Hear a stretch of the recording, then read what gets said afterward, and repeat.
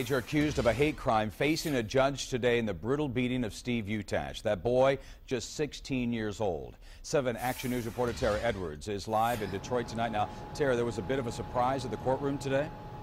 That's right, Jeff. A preliminary trial was supposed to take place today to see if the case would go to trial, but instead, the defense attorney asked that the case go straight to trial.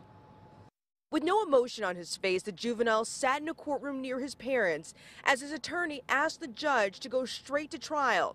It's not clear why the move was made, but Solomon Radner, the defense attorney, said he hopes to work out a deal with the prosecutor's office. The suspect, who turned 17 in a month, is now charged with assault with intent to do great bodily harm and ethnic intimidation. According to prosecutors, the teen was the instigator in the mob attack that left Steve Utash brutally beaten. What happened here, as alleged, was a spur of the moment type of incident. Radner argues because it was spur of the moment, he does not believe the juvenile was committing a hate crime. It's hard to say what's classified as a hate crime. Uh, obviously, different people would classify different things as a hate crime, but in my mind, when I hear the term hate crime, I'm envisioning people getting lynched and strung up on a tree because they're black I'm envisioning swastikas being painted on synagogues. That's typically what I envision when I hear a hate crime. While the prosecution says they have enough evidence to believe the teen's alleged actions do fit the crime, no evidence came out in court today, now that both sides prepare for trial.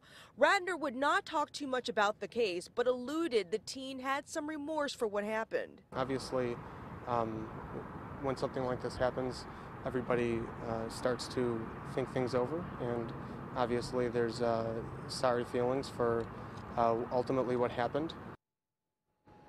And Radner tried to get the bond reduced. Right now, it's $400,000 cash that was denied.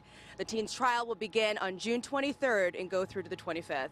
Live in Detroit, Tara Edwards, 7 Action News. Okay, Tara, thank you. Now we have more on this story. The outpouring of support for Steve Utash has raised a lot of money for his medical bills. Over the last two weeks, nearly 4,500 people have donated more than $179,000 to his fund.